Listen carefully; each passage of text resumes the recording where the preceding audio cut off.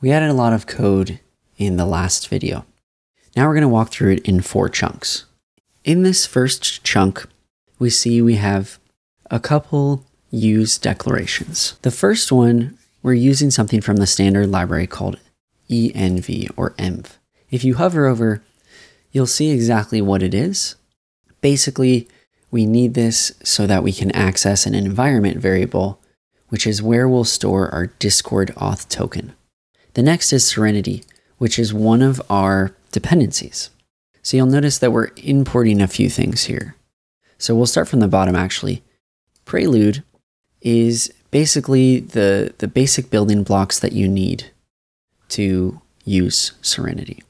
Then we've got model, uh, and we're importing message from channel and ready from gateway. Uh, and, and you'll see how we're using these later. Basically, these are the, the shapes or the types for things that we're going to be interacting with from the uh, Discord API.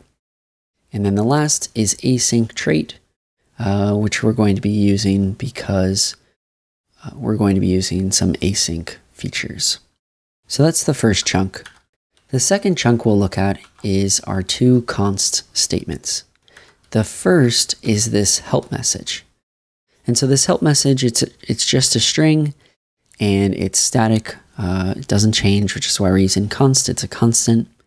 And this is the message that our Discord bot is going to be re responding with. It's the help message. Next, we have the help command. And this is the command that will trigger the bot to respond with our above message. And this doesn't change, hence why we've made it a const as well. And in this case, it's exclamation point help. But you, you're welcome to change that. The third block that we're going to look at is this part right here where we have struct that we're declaring called handler. And then we're implementing event handler for handler. So let's take a look at this. So this handler is the thing that's handling our message.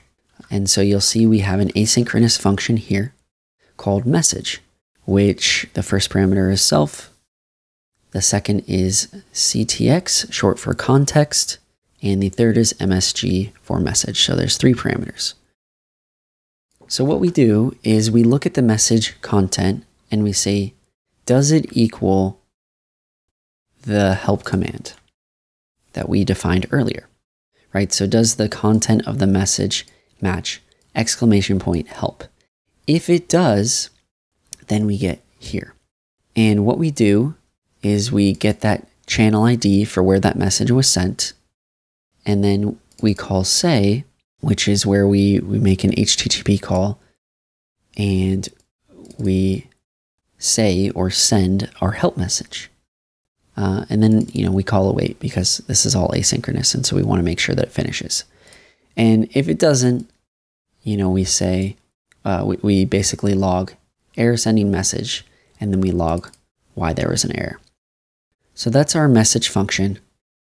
The other function inside of this handler is ready. And so there's three parameters here, self, context, and ready. Uh, and we're really just using ready because what we say here is this function gets called um, to basically let us know that our handler is listening, it's ready. Um, and so what it does is it will print the username of our bot and say, for example, helpbot is connected. So that's the third chunk. Now let's take a look at the final chunk. So we've got our, our macro here, the Tokio main, which is saying, hey, this is um, where our main function is, and this is an our async program or application. Uh, so remember, main gets called when you run the executable. So we have a few things here. So our first let statement is the token. And remember, we're using env from the standard library, and then var right, which fetches the environment variable key from the current process. In this case, we're looking for an environment, environment variable called Discord token. And if it fails, uh, we just say, hey, we expected a token in the environment. The next is the client, which this is what we're, we're getting from Serenity. We're creating a new, basically, Discord client, passing in the token uh, for the event handler. We're passing in our handler, which we defined earlier. Uh, and then we just call await because we want that to run and finish.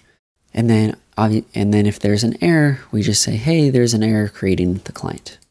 And then finally, once the, the client is created successfully, we move on to this block.